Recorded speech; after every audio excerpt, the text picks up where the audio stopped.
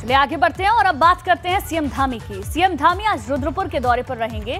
यहाँ वो Kashipur bypass road पर मौजूद निजी होटल में कार्यकर्ताओं से मुलाकात करेंगे। वहीं दूसरी तरफ़ रुद्रपुर में पिछले 255 दिनों से धरने पर बैठे हैं। इंट्राक कंपनी के मजदूरों के समर्थन में किसान नेता तेजेंद्र सिंह विर्क ने ऐलान किया है कि मुख्यमंत्री का विरोध होगा।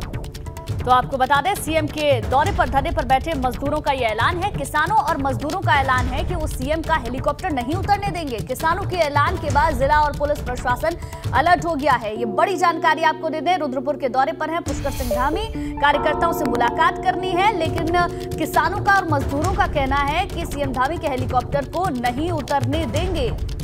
अब किस तरीके से प्रशासन पूरे सिचुएशन को कंट्रोल करता है, ये देखने वाली बात होगी। बहरहाल, प्रशासन अलर्ट मोड पर है।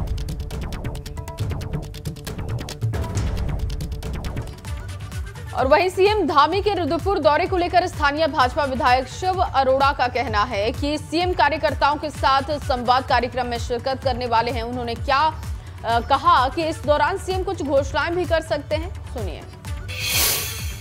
सिंह धामी जी जिनके नेतृत्व में प्रचंड बहुमत मिला है वो उधम सिंह ज़िले में पहली बार। सभी कार्यकर्ताओं में उत्साह है बड़े उत्साह के साथ तैयारियाँ चल रही हैं।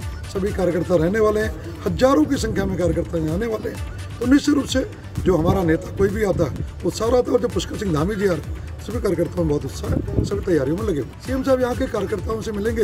कार्यकर्ता उनका अभिनंदन, स्वागत करने वाले हैं और निश्चित रूप से ज़िले में आ रहे हैं, ज़िले को बहुत सारी अपेक्षाएँ भी हैं।